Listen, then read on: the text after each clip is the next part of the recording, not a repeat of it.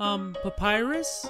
What's in your closet? If you're wondering, human, there are no skeletons inside my closet. Um, except me sometimes.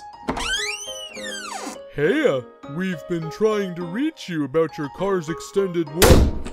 Was it the insurance salesman again? Papyrus, It was, wasn't it?